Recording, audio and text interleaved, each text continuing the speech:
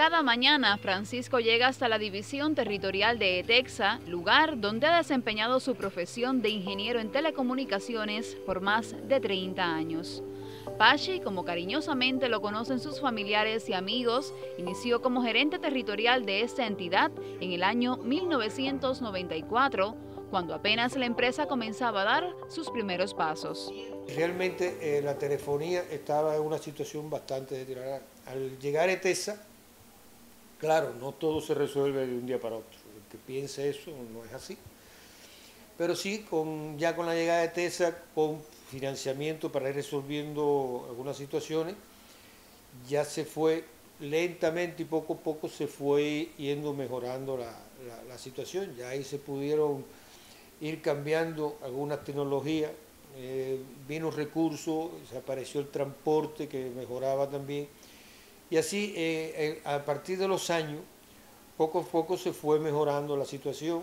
El aporte de este ingeniero fue vital para la digitalización de toda la provincia, tarea con la cual se logró sustituir la tecnología con otras prestaciones del servicio. Las centrales que había eran todas analógicas. No, ninguna prestaba los servicios que prestan hoy las centrales digitales.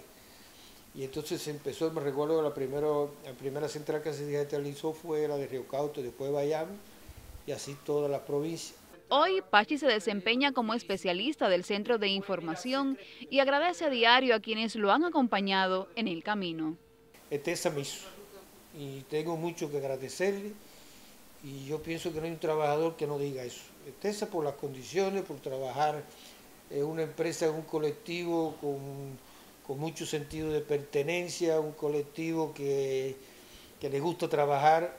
Ahora bueno, yo te digo, yo fui el primero prácticamente y ahora veo jóvenes y veo que se está haciendo mucho por los jóvenes, hay entusiasmo, se hacen actividades y hay, sentido de, responsabilidad. Hoy la situación cambia un poco con el bloqueo, ya los ingresos no es lo mismo porque cualquiera por un por WhatsApp habla y antes era diferente, ¿no? Y la situación ha cambiado, pero bueno, pero se mantiene el espíritu de seguir avanzando, de seguir trabajando, atendiendo a la gente.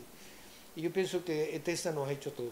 Este gran mense ha sabido ganarse el respeto y la admiración de sus compañeros de trabajo.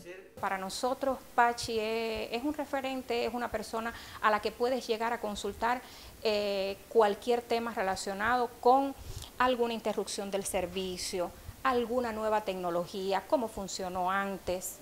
Por muchos años, las nuevas generaciones consultarán a Apache para seguir construyendo la historia de la división territorial de ETEXA. Rocío Rosales del Río, Sistema Informativo de la Televisión en Granma.